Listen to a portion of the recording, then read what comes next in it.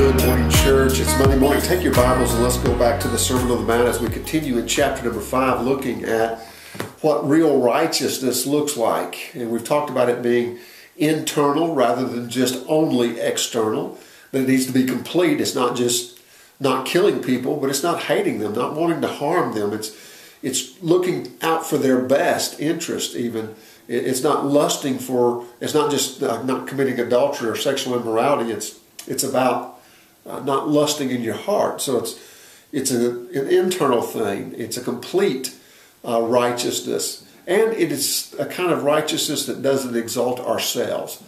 It's a kind of righteousness that's not putting other people down so that we look better in the eyes of the world, which is the kind of righteousness again that the Pharisees had.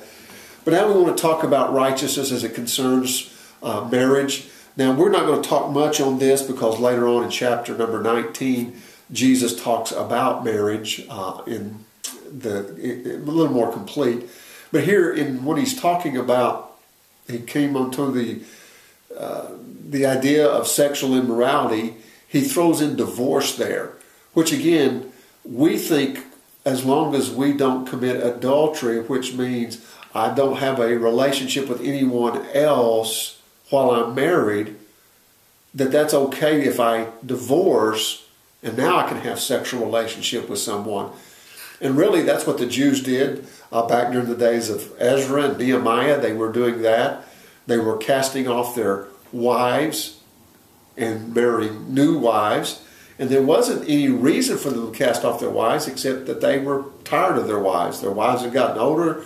Uh, their wives weren't as seductive as the Edomites and they were marrying foreign women.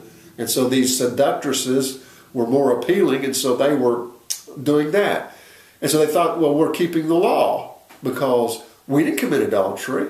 Uh, we got a divorce, and and therefore uh, it's we're free to have sexual relationship with this person now because we're married to them.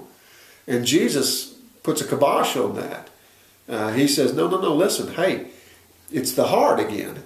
Yes, you you may have gotten married, that marriage didn't work out, you got a divorce, and, and now you consider yourself no longer married to that individual. Now you're free to go marry another individual, and now that you're married, you can have a relationship with that individual.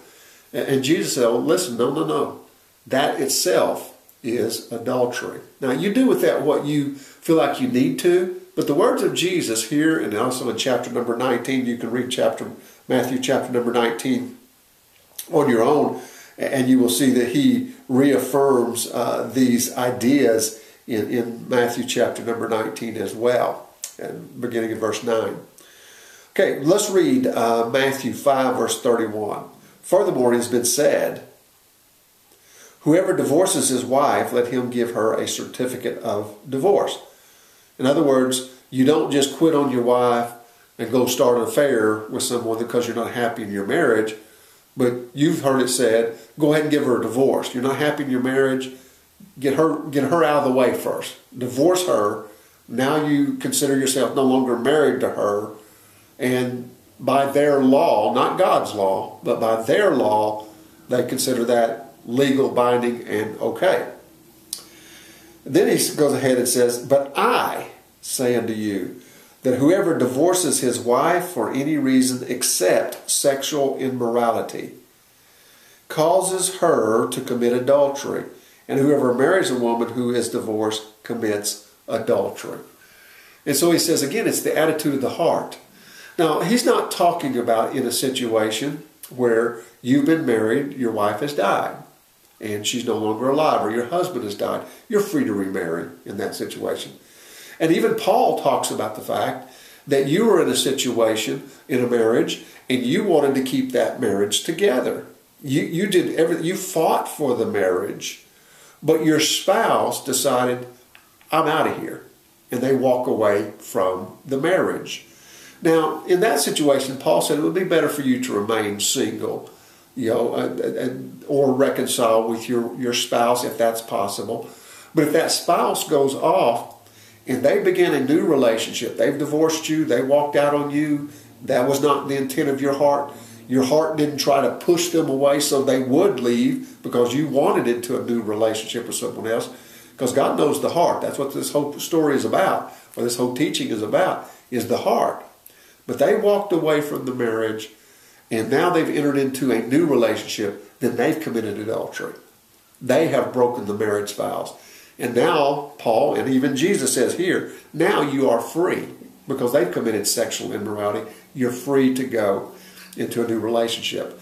Now, others would say, well, Donny, that doesn't include what we see today, and that is violence within marriage. A woman who is just literally beaten physically, emotionally, and she is in a terrible, even dangerous circumstances. You mean she can't divorce her husband? Well, the Bible teaches that she can separate from her husband. Just get out of the circumstances, leave that set of circumstances behind. Now, because of the heart of, of hum, humanity, even, even Moses in the Old Testament says, gave permission because of the hardness of the heart of men. gave permission for a man to divorce his wife so that that dangerous situation wouldn't wouldn't continue on. But again, that individual needs to stay in uh, a no relationship whatsoever sexually until their spouse has committed adultery. Then they're free to remarry. You see, that just seems awfully harsh. No, that just means God has a high opinion of marriage and humanity has a very low opinion of, of marriage when people enter into a marriage covenant, that is something sacred and binding. And that's what Jesus teaches here. The problem with marriages is not the externals. The problem with marriages is the heart of individuals. And it could be both of the person entered into the marriage, their hearts are not right with God, and therefore this relationship's not going to work out. It could be only one of their hearts are not right with God. Their heart desires another relationship or to be at least out of this relationship. But Jesus makes it very plain. And again, go to chapter 19 and, and read there, beginning about verse 9, uh, verse 9 and following. You'll see that Jesus reaffirms these things. So the teachings of Christ are far harder on his disciples than even the teachings of Moses. Don't murder is what Moses said. Jesus said, hey, don't even hate them in your heart don't commit adultery. Jesus said, hey, don't even look at a woman to lust after her. Uh, the Old Testament law says you can divorce your wife if you're not happy in the marriage. Just uh, go ahead and give her writ of divorcement. Jesus said, no, no. In my kingdom, no.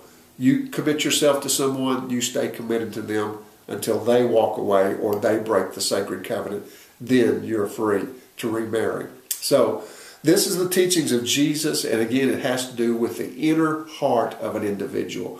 And make sure our hearts are pure before God. And if two people come together as husband and wife, and their hearts are pure before God and they're right with God, their marriage may have bumps, will have bumps, will have problems. There's going to be stormy days and sunshiny days, but they're going to be able to work it out because they have a heart towards righteousness. Let's pray together. Father, again, we thank you that you're very clear. This is not giving us anything gray matter here. This is something that is black and white and a very clear teaching of our Lord. Help us to live out this kind of righteousness and help us to be the kind of spouse that we need to be uh, so that we might be able to glorify you upon this earth. In Jesus' name we pray. Amen.